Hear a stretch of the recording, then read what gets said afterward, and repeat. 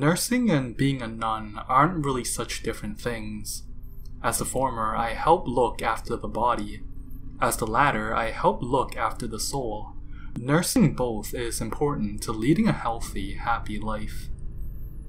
When I was a young woman, fresh out of my nursing program, and fresher still out of my final vows, I approached the world from behind rose colored lenses.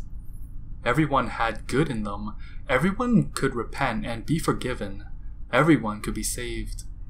It made me an optimistic little thing, which was always a plus when it came to bedside manners.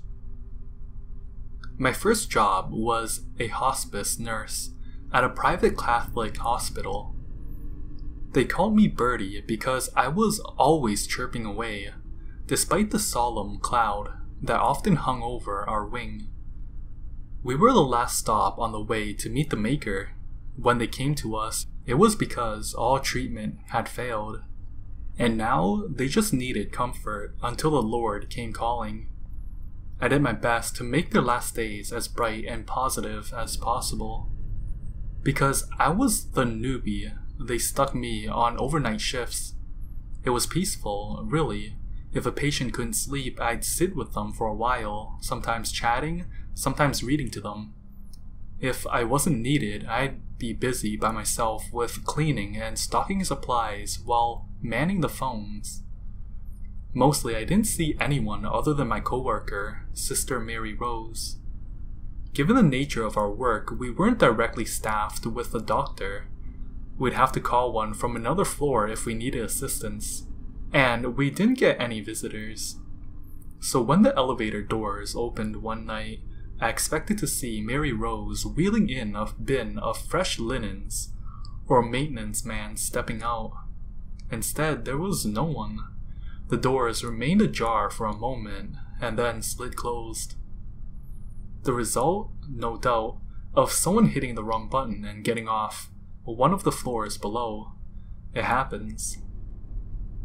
I looked back down at the chart I was inputting into our system. Slow, deliberate footsteps echoing in the empty corridor. They squeaked noisily against the linoleum floor. I jerked upright again and leaned forward over the desk for a better view down the hall. The landing in front of the elevator was deserted, but upon looking the other way, I discovered a little girl with short black curls and blue overalls dragging her hand along the wall as she walked towards the patient's room. Hey, sweetie, I called after her as softly as I could. You shouldn't be up here. She ignored me and continued her slow journey away from the nurse's station. She was nearing one of the open doors where Miss Matilda, an elderly woman with end stage breast cancer, was sleeping. Sweetie, I tried again, and again the little girl kept her back to me. She was almost to Miss Matilda's door. I hurried around the desk, losing sight of the child for only the seconds it took me to come around the corner. But when I did, the hallway was empty, a quick check of each of the six rooms on the floor likewise proved fruitless. The little girl was gone. Concerned that she might have gotten into somewhere she shouldn't, I called security to see if anyone had reported a child missing. No, I was told. It's been a quiet night. I advised them to keep an eye out for a child with short black hair and blue overalls before ringing down to pediatrics. Did they have an open bed they weren't aware of? Nope. All the kids were accounted for. Confused, I hung up and did another slow circle of the unit. It was still just me and the patients. When Sister Mary Rose returned shortly after, I told her what I'd seen. Long nights can lead to wandering imaginations, she said in a motherly tone. Say a prayer.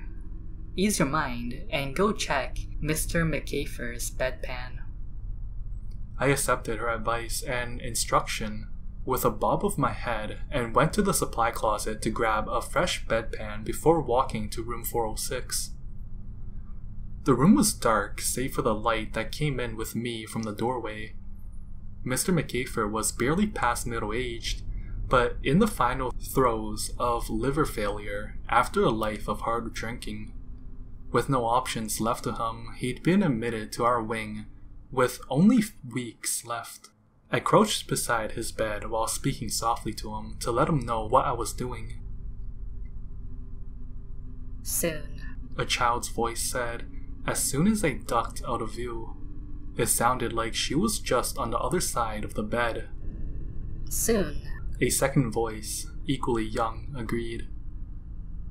I straightened up with a gasp, looking over Mr. McKeefer. He remained asleep, his chest rising and falling with brittle breaths. There was no one else in the room.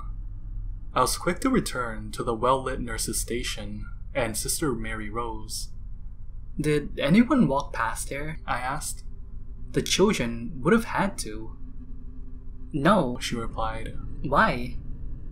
I swear, I just heard children in Mr. McCafer's room. Are you feeling alright, Birdie? Not coming down with something, are you? No. I quickly replied. I was still on probation and didn't want to put my job at risk. I guess the atmosphere is getting to me a bit.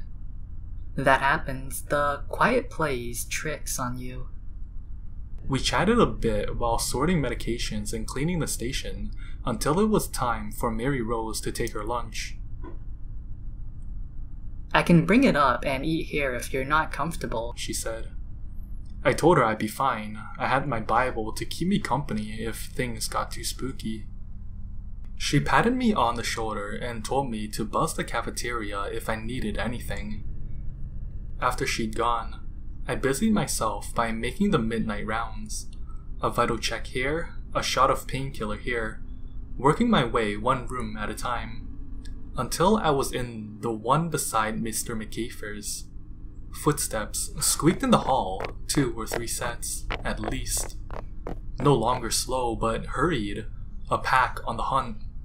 The thought came suddenly and sharply into my mind, and I shuddered.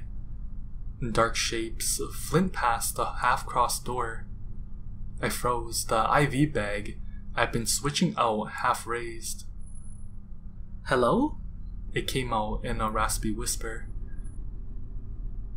The patient I was treating stirred slightly in their sleep. I quickly finished what I was doing and crept on my tippy toes to the door. Soon. The same girl from before said. She sounded gleeful. Soon. A small chorus of children replied. They giggled. I slipped out of the room I was in and, with my breath held and one hand clutching the crucifix hanging around my neck, I inched toward Mr. McKeefer's door. Four girls were standing shoulder to shoulder beside his bed with their backs towards me. The one with the blue overalls was in the middle. They were all holding hands and staring at him. A disquiet had settled over the room, a dark anticipation. It sent goosebumps running up my arms and my heart fluttered towards my throat. Mr. McCafer remained oblivious to his young visitors. They stood still, more so than any child I had ever met. It was unnatural, predatory. Alarm bells rang in my head, ordering me to run, but my first priority was to my patient, and I couldn't just abandon him. I found my voice and managed to say, Y- y- you, you can't be here. The children remained at his bedside. You need to leave. I said, with as much authority as I could muster. Do you want some candy, sweetheart? The girl on the far left said. Her voice was ice cold and flat. I've got a new puppy. Would you like to see? The one beside her said in the same tone. Don't you remember me? I'm your friend's dad.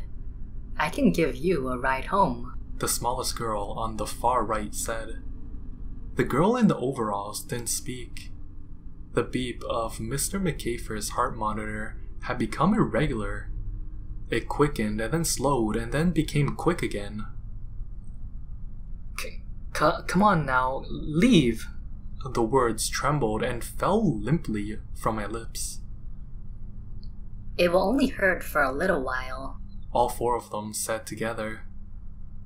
The heart monitor jumped. But soon it will be all over. The girl in the overalls said. Soon. Soon. I made the sign of the cross over myself and gripped the doorframe. The air had become oppressive and humid, and I tugged at the collar of my habit, trying to alleviate the suffocating feeling that was closing around my neck. Who are you? I gasped, what do you want? Mommy, said one, and her voice cracked with a child's heartbreak. Daddy, and Nana.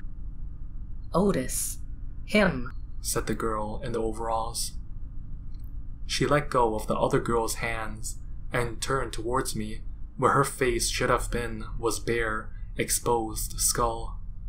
She grinned at me through cracked and broken teeth, and in her empty eyes, through them, I saw and understood.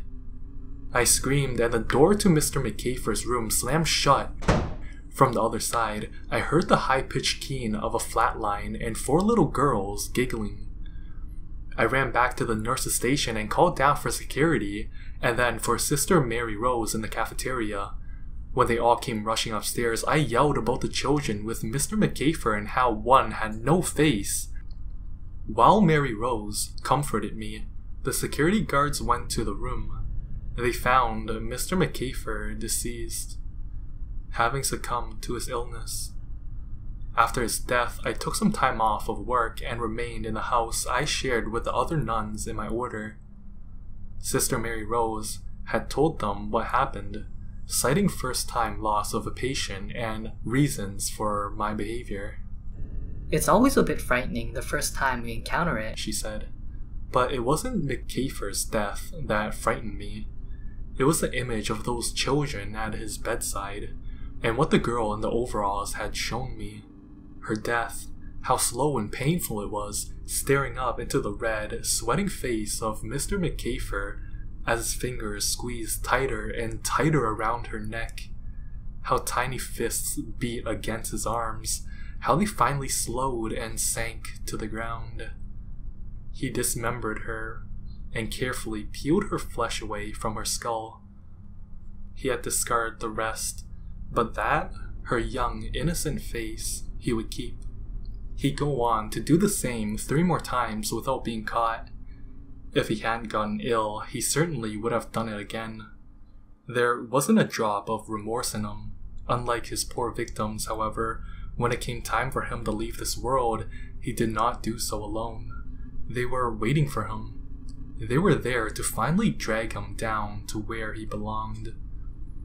I learned a lot at that job, but nothing more important than the fact that some people are not inherently good. Some people never repent or seek forgiveness. Not everyone can be saved.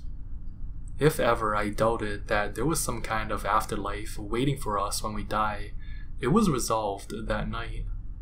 And if ever I doubted that those who chose to do evil will have their day of reckoning, it was washed away by the giggle of a faceless little girl.